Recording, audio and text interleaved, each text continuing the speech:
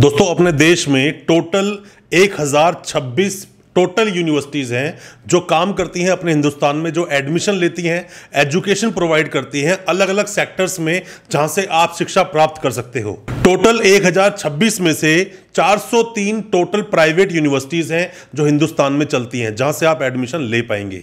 ऐसी ही यूनिवर्सिटियों में नाम आता है राजस्थान का। राजस्थान, जहाँ की सेकंड नंबर पे टोटल यूनिवर्सिटीज़ का अगर हम काउंट करें हिंदुस्तान में जो प्राइवेट यूनिवर्सिटीज़ चलती हैं, वहीं पर एक यूनिवर्सिटी का नाम आता है जिसका नाम है भगवंत यूनिवर्सिटी। अजमेर में यूनिवर्सिटी है ये। भगवंत यूनिवर्सिटी के पास क्या क्या अप्रूवल्स हैं क्या क्या कोर्सेज हैं, उस पर तो हम एक वीडियो लेकर आएँगे। पर आज अपनी इस वीडियो में हम एक शॉर्ट रिव्यू आपको देंगे, जिसमें बताएँगे यूनिवर्सिटी के कुछ अप्रूवल्स के बारे में यूनिवर्सिटी कब स्टैब्लिश हुई यूनिवर्सिटी के अंदर क्या क्या कोर्सेज चलते हैं, और भी बहुत सारी बातें आज आपको जानने को मिलेगी हमारी इस वीडियो के माध्यम से। ज़्यादा कुछ जानने के लिए दोस्तों बने रहिए हमारे इस वीडियो के साथ। नमस्कार दोस्तों, स्वागत करता हूँ आप सभी का अपने इस यूट्यूब चैनल पर, जिसका नाम है यूनिवर्सिटी इंडिया मेरा नाम है वीरेंद्र वर्मा जैसा आप सभी जानते हैं, हम देश विदेश की यूनिवर्सिटीज कॉलेजेस उनके कोर्सेज को एक्सप्लोर एंड रिव्यू करते हैं और आपको बताते हैं सब कुछ जो आप जानना चाहते हैं। दोस्तों, हालाँकि यूनिवर्सिटीज कई हैं। राजस्थान में भी बहुत सारी यूनिवर्सिटीज हैं। राजस्थान में से एक यूनिवर्सिटी का नाम आता है भगवंत यूनिवर्सिटी का। टोटल अगर हम बात करें टोटल प्राइवेट यूनिवर्सिटीज जो चलती हैं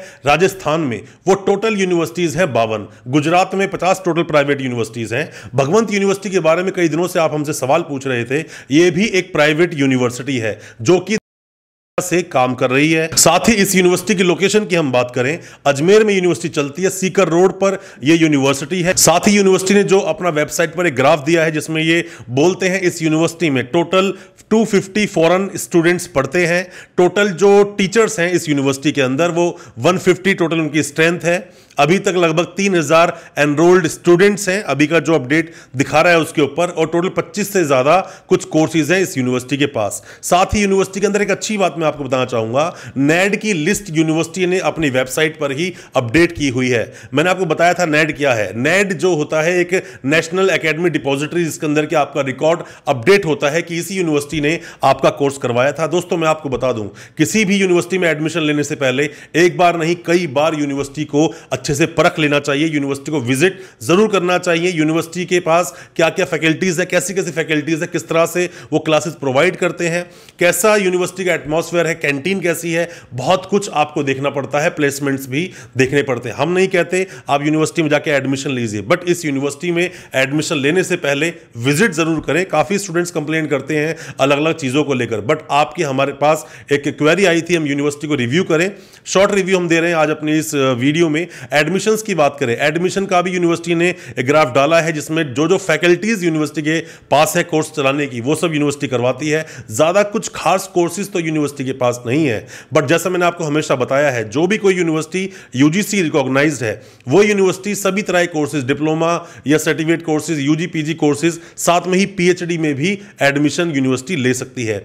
आप जब यूजीसी पर जाते हो यूजीसी.ac.in पर तो यहाँ पर यह यूनिवर्सिटी आपको थर्ड नंबर पर देखने को मिलती है, जैसा मैंने आपको हमेशा से बताया है।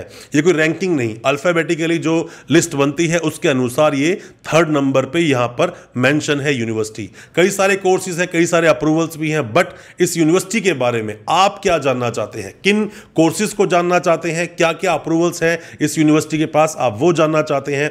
या यूनिवर्सिटी का प्रीवियसली जो हिस्ट्री रही है, वो क्या है? जिस तरह सभी यूनिवर्सिटीज अपनी वेबसाइट पर एक नोटिस लगा देते हैं कि जितने भी फ्रॉडस्टर्स हैं, उनसे बच के रहें या फेक मार्कशीट्स के झांसे में आप बिल्कुल ना आए, ऐसा ही इस यूनिवर्सिटी ने भी लगाया हुआ है होम पेज पर ही। वैधानिक चेतावनी के नाम से इसमें डाला हुआ है, वही सेम चीज़ जो मैंने अक्सर आपको बताई है कि यूनिवर्सिटीज एक नोटिस लगा देती है। किसी भी तरह के लीगल एक्शन से बचने के लिए वही इस यूनिवर्सिटी ने भी यहाँ पर एक नोटिस लगाया हुआ है। दोस्तों, मैं आपको एक बात बता दूँ कि यूनिवर्सिटी अलग अलग तरह के स्कैम्स में बहुत सारी प्राइवेट यूनिवर्सिटीज आती रहती हैं, कुछ ना कुछ एलिगेशन चलते ही रहते हैं बट यूनिवर्सिटी अगर मान्य है, जिस भी यूनिवर्सिटी में आपने एडमिशन लिया, अगर वो मान्य होगी और आपने एडमिशन लिया तो आपको कोई प्रॉब्लम होगी नहीं। फ्यूचर में कोई प्रॉब्लम हो भी जाए और आप रियल तरीके से यूनिवर्सिटी के एनरोल्ड स्टूडेंट हैं, आपने वहाँ रहकर पढ़ाई की है, कोई भी मिलावट किसी तरह की नहीं है तो आपको कोई भी प्रॉब्लम कभी नहीं आएगी। आप अगर जेनुअन स्टूडेंट होते हैं किसी यूनिवर्सिटी के तो आप अपनी फाइट को आगे तक लड़ सकते हैं और आप जीतेंगे। आपको कभी किसी तरह की प्रॉब्लम नहीं आएगी। कोई भी किसी भी तरह के सवाल हैं, भगवंत यूनिवर्सिटी को लेकर, या आप कोई भी अपडेट वीडियो चाहते हैं, या आप चाहते हैं हम कोर्स को एक्सप्लोर करें, या यूनिवर्सिटी के अप्रूवल्स को, या और भी कई सारी चीज़ें हो सकती हैं। हालाँकि हम यूनिवर्सिटी 2022 का प्रोस्पेक्टस भी मंगाएँगे, उस पर भी रिव्यू करेंगे, आपको बताएँगे क्या नए कोर्सेज यूनिवर्सिटी ने लॉन्च किए हैं। कोई भी किसी तरह के सवाल है, आप पूछें कमेंट बॉक्स में जाकर कमेंट करें, हमें अपने सवालों को पूछें, और अच्छा लगे आज का वीडियो, हमारी वीडियो को ज़्यादा से ज़्यादा अपने दोस्तों, परिजन, परिवार में शेयर करें, और साथ ही चैनल को सब्सक्राइब करना बिल्कुल ना भूलें, साथ में लगा बेल आइकन ज़रूर दबा दें। ताकि इसी तरह की एजुकेशनल वीडियोस हम आपके लेकर आ सकें सबसे पहले। बहुत बहुत शुक्रिया दोस्त, धन्यवाद। हमारी इस वीडियो के साथ बने रहने के लिए।